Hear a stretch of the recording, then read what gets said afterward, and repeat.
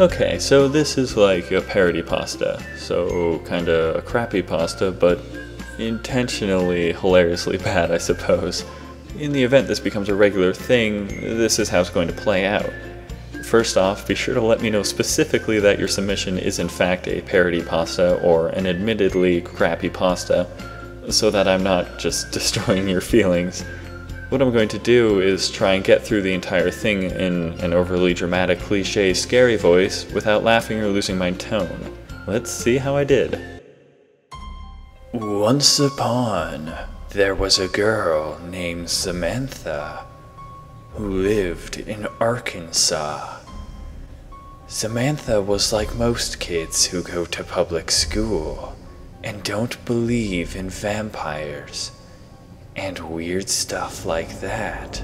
But little did she know that was all about to change. She used to have lots of friends, but all of that changed when a new, prettier girl moved to the school and all of Samantha's friends decided they want to be her friends instead. Well, she wasn't really prettier. Her old friends just thought she was. The school also had a lot of really mean teachers and other adults, like the lunch lady who was fat and had nasty teeth and a mole on her nose, and the teachers liked to give out lots of homework. Every day, Samantha had to finish all her homework before her stepmother get home from the spa and made her clean the kitchen, for she made her do it every night. After Samantha finished her homework and then the kitchen, it was time for bed. Shen went. She then went, got into her bed, and fell fast asleep. That night, she had a nightmare. There was a closet in the big stall of the girls' restroom that was always locked. In her dream, Samantha was at school in her classroom when suddenly a loud noise could be heard coming from the girls' restroom, so loud that everyone could hear it. When they all went to see what it was, the closet inside was broken apart. What could have done this? The teacher asked. I did, a scary voice behind them said. And when they turned around, there stood a vampire. He was tall, with white skin, red eyes, and slicked back black hair. He grinned, showing his long, sharp white teeth. Samantha was reminded of a dog. And then he laughed and lunged at them. Samantha watched as he killed her friends and classmates one by one and drank their blood. Then, finally turned to her. I'm too full to drink any more blood for now, but I'll come back for you later. And then Samantha woke up to the sound of her stepmom shouting up the stairs at her. Wake up, you little butthead, your oatmeal is ready.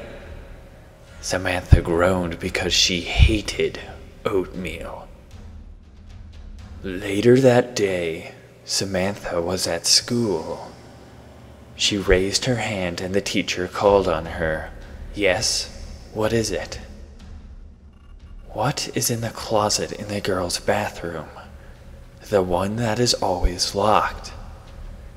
The teacher dropped her chalk and gave Samantha a very serious look. Don't ever open that door, she said. If anybody ever reopens that door, they will get an F and a $1,000 fine. Samantha heard someone chuckle. She looked over and saw the bully, Cade. He raised his hand and said, I'm going to the bathroom, Teach, and got up and left. Samantha had a bad feeling about this and said, Me too. She hurried to the girl's bathroom, and when she went inside, she found Cade on the floor of the big stall. He died. She slowly looked up and saw the closet door opened. Oh no, where's the vampire? She asked and left out of the bathroom. When she got out, she realized all the lights were out. This couldn't be good. She hurried back to her classroom, but when she got there, everyone was gone. She looked into the other classrooms and nobody was in them either. I better get out of here, Samantha said, and ran to the nearest school exit, the one that led to the playground outside. But when she got to the door, it was locked. Samantha knew that if she didn't hurry, the vampit would get her too. She ran back down the hall and bumped into the principal.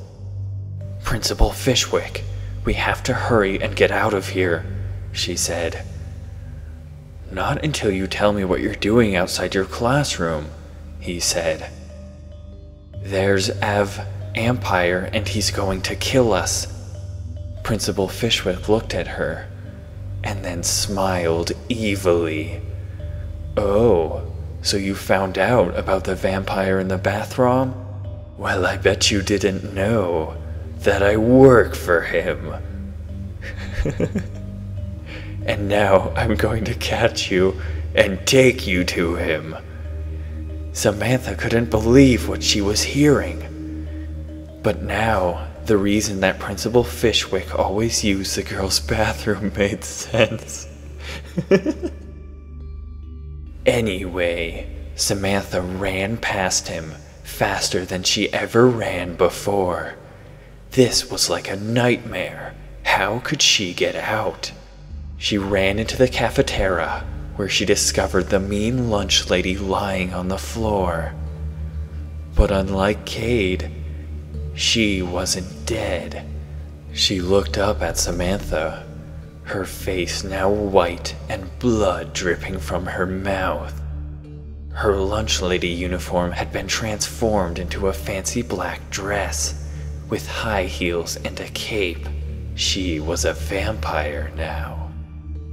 She jumped high into the air and was about to land on Samantha, but she hurried out of the way.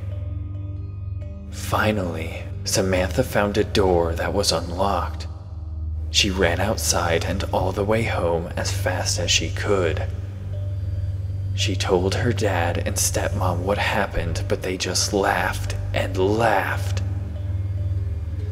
When Samantha woke up the next morning, she thought it had all been a bad dream and went back to school.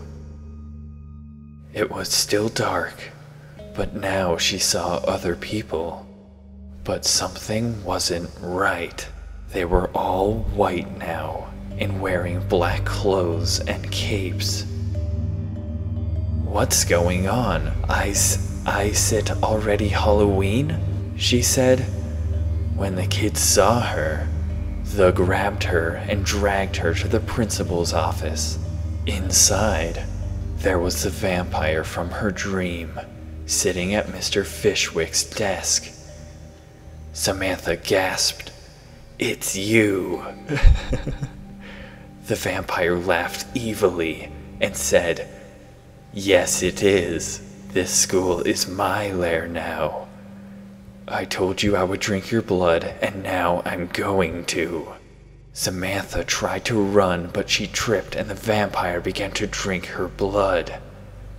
Soon, she was a vampire just like all the other kids and teachers in the school. And next year, when the new students would come, they would turn them into vampires too.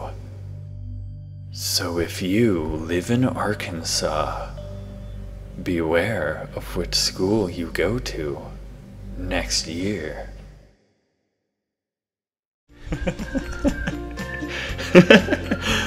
よし。